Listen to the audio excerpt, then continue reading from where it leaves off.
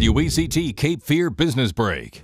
Hi, I'm Megan Donahue, and here to talk about breast reconstruction is Dr. Chuck Case from Wilmington Plastic Surgery. Dr. Case, welcome back. Thank you for having me. Now, I know in addition to the aesthetic procedures at Wilmington Plastic Mm-hmm. Surgery, uh, your practice is a leader in breast reconstruction. Is that a large part of your practice? Actually, it is. There's four of, of us plastic surgeons at Wilmington Plastic Surgery. We're all heavily engaged in breast reconstruction. We all do it quite extensively. And you've been doing it for quite some time. Yes, I've 18 years and close to 3,000 women I've reconstructed over that period of Wow. time.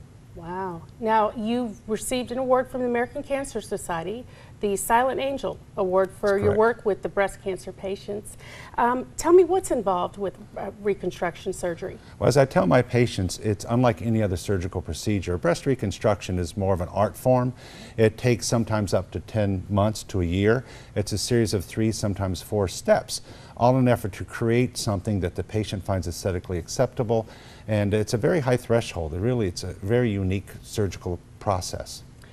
What kind of new technologies out there? Well, actually, the implants we're using now for breast reconstruction are nowhere near what we used 18 years ago. We now use mostly silicone gel. They're softer, they feel more like a breast, and they give us better cosmetic outcomes. Well, that's great. Uh, are there people that are not candidates? Well, actually, you know, all insurance plans, including Medicare and Medicaid, cover breast reconstruction.